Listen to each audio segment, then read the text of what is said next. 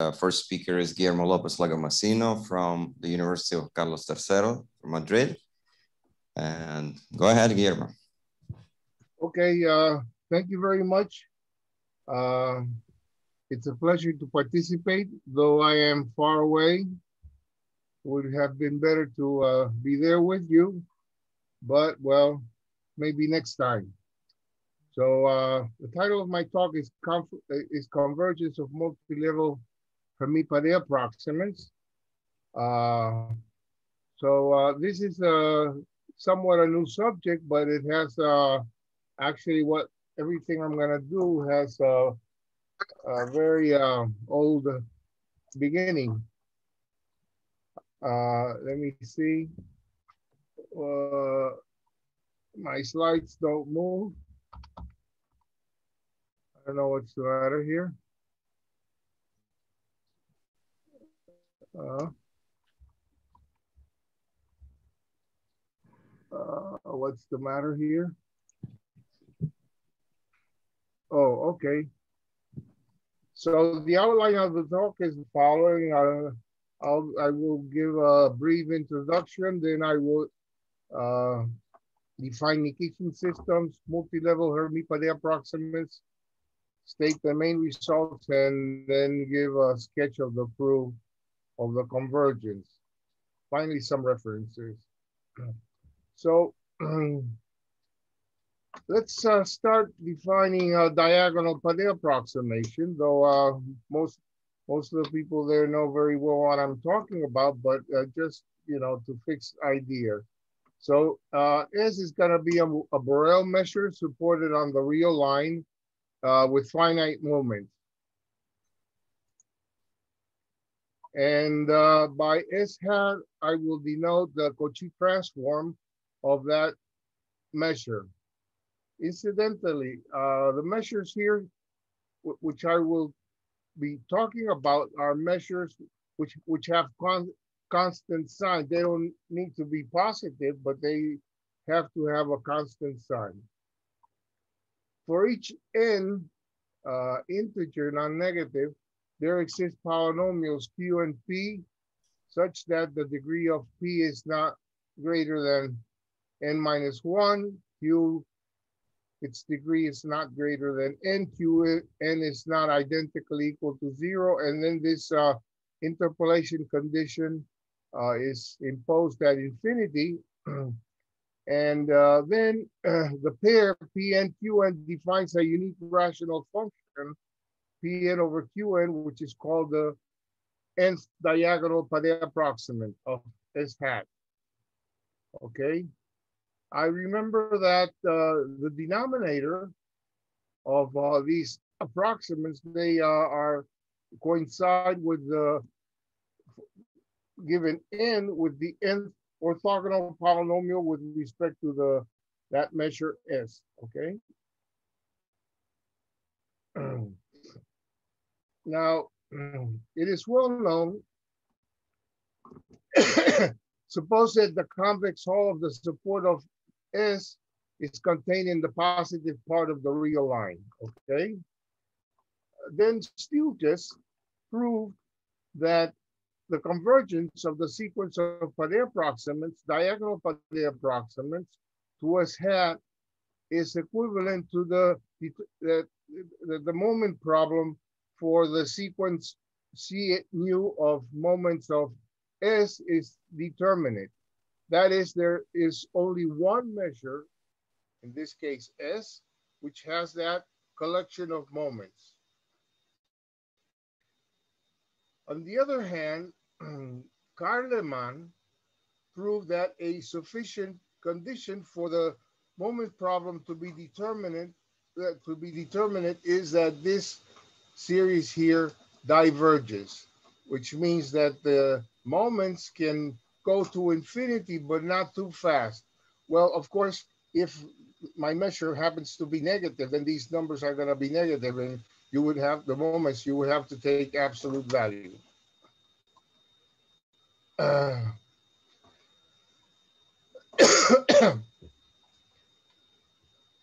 the goal, our goal is going to be, uh, is, is going to be to give a Stieltjes-Carleman type theorem for what we call multi-level Hermite-Padé approximates of Nikishin systems. So what is a Nikishin system? Given two measures, sigma one, sigma two, supported on intervals, delta one, delta two, actually the deltas are gonna be the convex hull of the support of the measures. And uh, these intervals and in we will assume that in L1 of in the third, which was in its different this form, so you take the basic measure, you uh, multiply it by the Cauchy transform of the second one, sigma. uh, so we have, I, I, we define the product of two measures and um, okay, now, now suppose that we have a collection of measures, sigma one, sigma m, uh, who support the convex hull of their support is denoted delta k, and uh, we will assume that two consecutive intervals uh, are either uh, empty or have at most a common endpoint, in which case uh, the condition regarding that, for instance, like in this case, that sigma 2 is, a, is in L1 of sigma 1 is imposed, okay? So uh, you define what is called the Nikishin system generated by sigma sigma m. Sigma 1 is simply what S11. S12 is going to be the product of sigma 1, sigma 2, and so on. Uh, inductively, you define M measures S1. The last one is S1M, which is going to be the product of sigma 1 times the product of the remaining ones, sigma 2 up to sigma M in the given order, okay? Uh, we will also define the measure sigma jk, uh, which is what is obtained after multiplying sigma j up to sigma k, should k be greater than j, and sigma j, sigma j minus one, sigma k, if j happens to be the smaller, the, the, uh, the, the, larger of the two. now let's fix uh, uh, an interval of um, integers, not all identical equal, uh, not all zero. We're going to define uh, the length of the of the that multi-index as the sum of all the components of the, the multi-index n1 plus nm. And it is easy to see that there exist polynomials an0, anm, where the degree of the a and k are is uh, at most the norm of n minus one for k from zero up to uh, minus one, and the last one has degree at most n, norm of n. We will assume that they are not all identical equal to zero, and this is called multi-level Hermite-Padé polynomials of uh, the sig uh, uh, system sigma 1, sigma m with respect to n, if for all j from 0 up to n minus 1, these linear forms have this order of interpolation at infinity. For completeness, we define A and M as simply the, the minus one to the M of A and M, little a, okay? Uh, some known results. LISO, uh, this, uh, this definition coincides with, uh, well, not, not completely, but uh,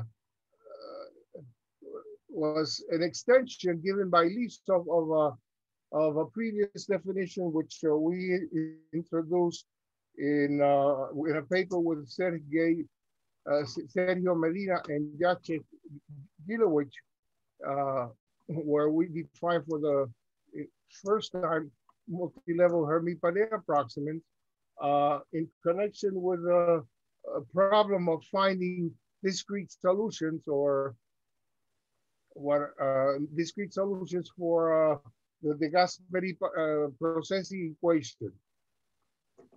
Uh, and Lysov extended this uh, our definition further, which is the one that we gave before. Uh, some known results proved by Lysov in his paper are the following. Uh, the first one of these forms, AN0, has no zero in the complement of delta 1. Now the remaining ANJ have exactly, for given J, have exactly N1 plus NJ zeros in C minus delta J plus one. They are all simple and they lie on the interval delta J. For all N, the degree of the A and J for J from zero up to N minus one exact, is exactly equal to the norm of N minus one and the degree of A and M is exactly norm of N, which means that the system, uh, the Nikishin system of uh, measures is perfect for this definition of uh, Hermite-Padé, uh, uh, mixed type Hermite-Padé approximation problem. Now, uh, in that paper, Lysov proved that if the support of the measures, sigma k, the generating measures are compact, and uh, they are regular in the sense of um, uh, Totik and Stahl, then, and you fix your uh, attention to what are called ray sequences. That is when the multi-index, the, the, sequence of multi-index is such that if you fix a component and you divide by the norm of the multi-index and you take limit, then there is uh, uh, a, a, the limit exists, okay? For each k from one up to m. actually, uh, Lysov, he, uh, he considered that the, the, the measures were, were such that the sigma k prime was greater than zero almost everywhere on the interval delta k, but he himself uh, said in the paper that it was sufficient to require that the measures be regular, okay? Just simple modifications of the of his proof allow or that in that case to prove that the sequence of the uh, of, of the forms have nth root asymptotics and from there uh, you can derive that the ratios a and j over a and m converges uh, on each compact subset of the complement of uh, delta m through this, the Cauchy transform of smj plus one, okay? There is nth root, the lim sup exists, and it's a uh, number smaller than one, which means that the uh, convergence occurs with geometric rate. Now, uh, our theorem says the following. So we will not require that the, the, the support of the measures be uh, compact or any condition on the of regularity even on the measures, okay? So here I'm going back to the definition of um, given before at the beginning, okay? Uh, of multi-level Hermite-Padé approximants. The measures are completely arbitrary, well, except for what I will say here. So uh, suppose that we have a Nikishin system and a sequence of multi-indices such that for, for all j from 1 up to n minus 1, the component nj plus 1 of the multi-index is less than or equal to uh, the previous one plus a number, a constant, which does not depend on the multi-index. So for instance, suppose that the, uh, the components are simply decreasing, okay? Or not increasing uh, with n equal to zero. Then uh, such sequences are good for our purpose. now we will assume that the moments of sigma m satisfy Carleman's condition or the interval delta m minus one is bounded away, uh, is bounded, and it does not intersect the interval delta m. Then uh, the limit exists just as uh, before, and it's precisely the same, of course, the same, uh, the Cauchy transform of the same measure, okay? Given in the deduced from Lysov's result, except that here we are uh, assuming uh, in, some, in some way uh, more liberty in the collection of the of the multi-index you know, of the multi-indices and of course on the measures okay? Uh in if if the multi-indices are such that nj is greater or equal to nj plus 1 plus 1. So this means that uh, that the, the, the multi-indices are strictly decreasing, okay? If this happens for each j from 1 up to n minus 1, then all the zeros of the these polynomials a and k are simple and they interlace those of A and M.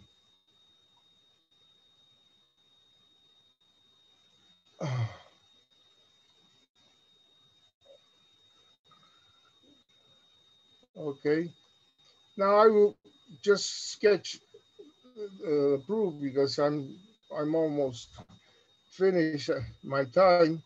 Um, by the way, are you listening to me? Course. Yes. Okay. Yes, okay. So we have the following lemma. So let's fix a multi-index. I will denote by eta and j the sum of the components up to the jth one, okay? And this for j from 1 up to m. And then uh, 0 is um,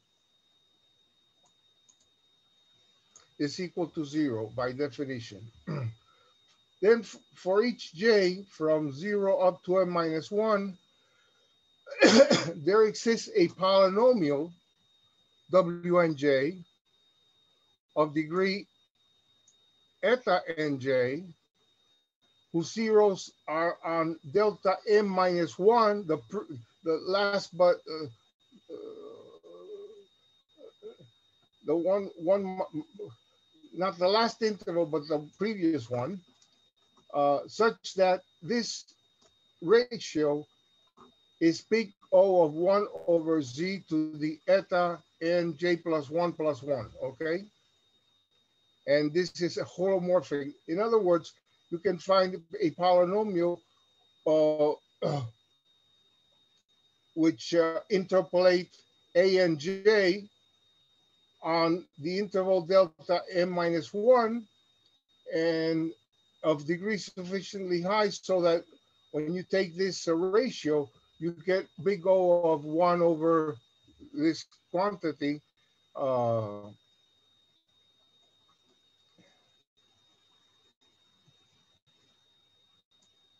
okay. Now, the proof uh, for j equals zero, this is true simply from the definition. If you assume that it holds for some j from zero up to n minus two, then uh, from this or interpolation condition, you get these orthogonality conditions. These orthogonality conditions imply that uh, this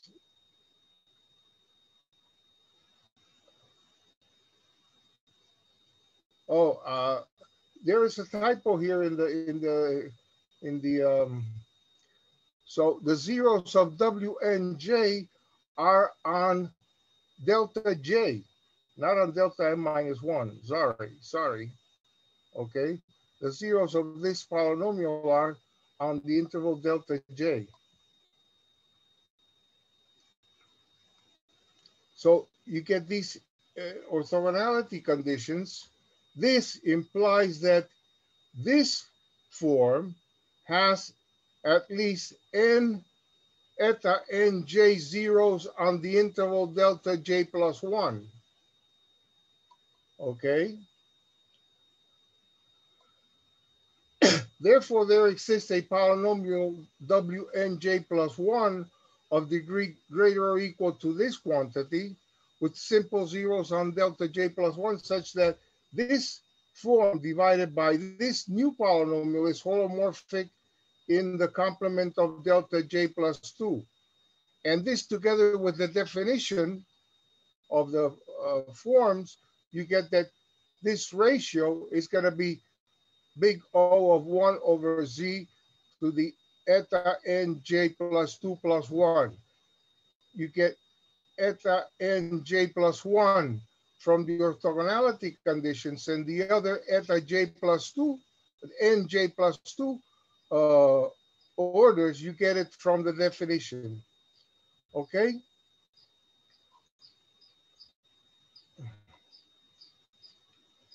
Uh, so this this proves already the, the lemma, except for the, the, the, the fact that the degrees are exactly equal to eta and j, but this is a simple consequence of the fact that since this form is precisely this polynomial and its degree is at most norm of n, then if you have too many orthogonality conditions, you get that a and m is going to be identically equal to zero. But then if a and m is uh, identically equal to zero, all the a's have to be identically equal to zero. And this is not possible because from the definition, the vector of polynomials a and zero, a and m is not identically equal to zero. Okay, now I'm gonna finish with this. I'm just gonna prove the theorem in the case when j is equal to n minus one. And that comes directly from this property. Notice that if j is equal to n minus one, the form an j j plus one, uh, that is a and m minus one, reduces to what I have here in the numerator. Divided by this, according to the, uh, the lemma, is big O of 1 over z to the norm of n plus 1. Now, the polynomials a and m minus 1 and a and m are of degree at most norm of n minus 1 and norm of n respectively. So this means that a n m minus 1 over a n m is the uh, multiplying by the approximate of m points at infinity and uh, the zeros of the power of W1. Then from results of uh, the convergence of multiple approximates, if the moments of sigma m are satisfied Carleman's condition, or this interval is bit away from delta m, then you get convergence of of the multiple point by the precisely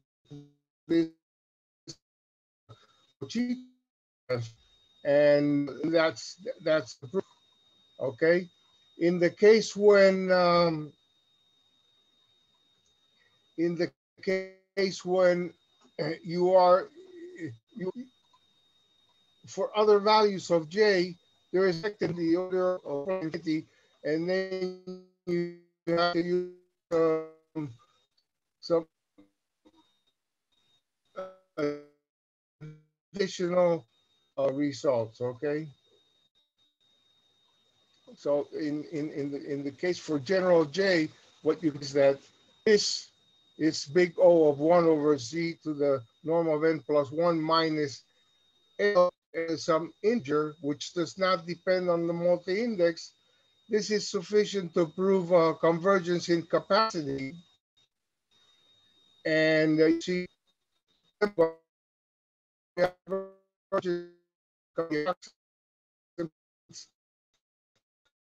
are in a certain convergence in compact subsets, and that's what we uh, we use in this case.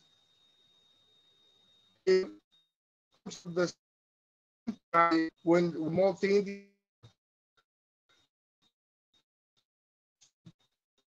then there is no deep here. You can show that L is equal to zero and it's not the same situation as for J to M minus one. You get exactly uh, points. And uh, uh, we use uh, this, this, this, this was one of the results in my PhD thesis with Gonchar from 1979. There we studied multipoint Padé approximants for functions of Stieltjes type. And in this paper with uh, Jorge Bustamante, we proved the uh, convergence of Hermite-Padé approximants for Nikishin system for type 2 Hermite-Padé approximants. That was in 1994. This is Lysov's paper, and this is a paper with uh, Sergio and Jacek Szmigielski, which uh, I mentioned before, where we first introduced the notion of uh, multi-level Hermite-Padé approximants. Okay, thank you very much and sorry for the inconveniences. Thank you, Guillermo. So at the end, we also had a little bit of uh, sound problem. Uh, so I think that because of this technical problems and delays, uh, we should move on unless somebody from the audience has an urgent question to ask. Uh, online audience. Okay, sorry, Guillermo. Thank sorry. you again and for all this effort, and thank you very much. Okay.